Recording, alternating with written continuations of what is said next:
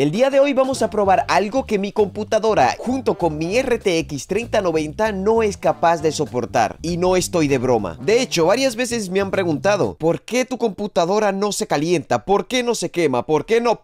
Bueno, tiene una explicación, porque es una bestia de computadora. Y la tarjeta gráfica es aún más bestia, porque es la 3090. Soy la RTX 3090. Sorry pero soy otra gráfica. Ahora se los llevo la ver. Pues bueno, ya no más porque tengo este mapa que se llama High Poly and Resolution Map, que si lo intento abrir con la tarjeta gráfica más potente ahora mismo, que es la que tengo, no me va a dejar. Así que me he tenido que cambiar a una GTX 1060, la están viendo por ahí arriba, porque en teoría, al ser una tarjeta gráfica de menor capacidad y GTX, es capaz de entrar en este mapa sin problemas. Ahora mismo, aunque no parezca, esto es totalmente Minecraft, chicos. Y por lo que veo me sorprende porque, no tanto por lo realista que sé, porque esto es fotorrealista, de hecho vamos a estar probando varias cosas aquí en este mapa, sino que con esta tarjeta gráfica es capaz de correrlo. Cuando entré con la 3090, literalmente iba a tirones, pero a tirones fuertes que no podía ni caminar. Y con esta puedo andar normalmente y tranquilamente. Y fíjense que está todo súper detallado, amigo. Esto por aquí se me hace como que son tipo cuadros ¿O serán tumbas? A la madre, son tumbas, parece Ok, tengan en cuenta que aquí en el Minecraft de Java A día de hoy no he visto una textura, un mapa O algo que sea tan detallado como el que estamos viendo en Bedrock A ver, miren chicos Aquí donde estoy ahora es donde aparecemos al principio Es como que bajamos de este lugar hacia algo subterráneo que está súper chulo. Incluso las luces simulan las sombras y todo. No tenemos obviamente RTX porque estamos utilizando una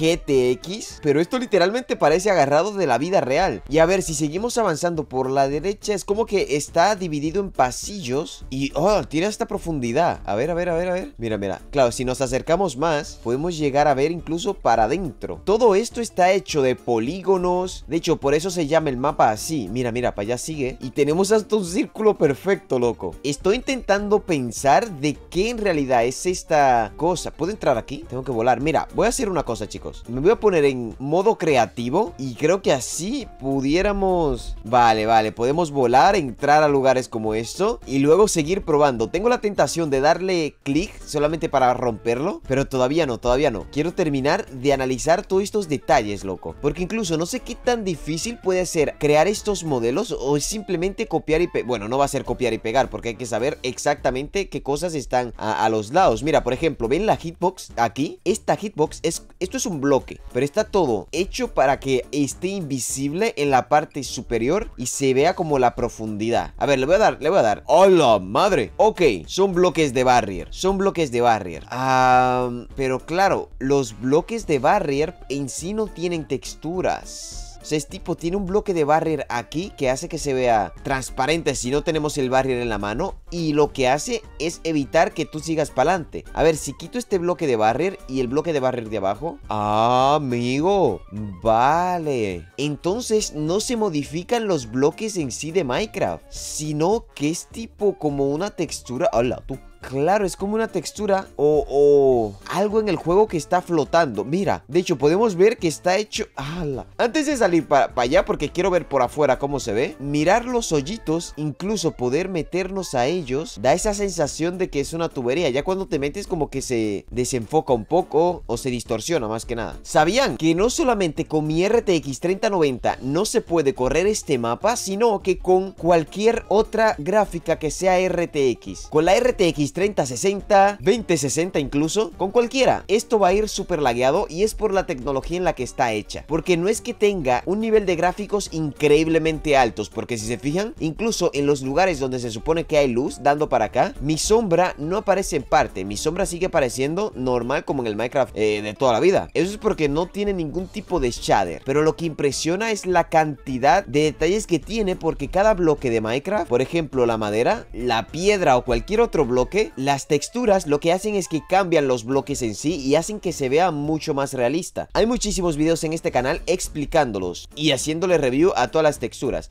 Pero bueno, creo que ya no hay mucho más que ver por aquí. La verdad creo que no hay mucho más. Así que vamos a romper esta puerta y vamos a salir... Bueno, la puerta romperla no creo, pero romper los, los bloques de barrier, eso sí. Vale, vamos a salir. Ahí estamos. Y por fuera se vería de esta forma un poco rara. De hecho, los hoyos son estos, son estos hoyitos, se ve súper creepy por aquí. ¿Y por qué está volando esta llama? Ah, vale, que esto está con, bloque, con bloques de barrier a la miércoles. Hay bloques de barrier en todo esto aquí. Ah, es que hay que cubrirlo todo para que no se pueda caer. ¿Saben algo curioso? Esto en realidad es lo que en cualquier juego hay. Es decir, los bloques de barrier aquí son literalmente cuadrados. O sea, literal, la hitbox es cuadrada. Pero en juegos como por ejemplo GTA, Call of Duty, la hitbox puede ser modificada a que sea directamente de la misma forma de las texturas. Por ejemplo, aquí ven que esta línea está un poco más para enfrente que las texturas. Bueno, en juegos normales se intenta hacer la hitbox lo más parecido a la textura para que sea más realista. Es decir, si la textura llega hasta allá al fondo, un poquito más para allá, y modificamos la hitbox, yo podría literalmente pegarme más. Y eso le dará un toque más realista. Pero bueno, esto es Minecraft y la hitbox se modifica un poquito diferente.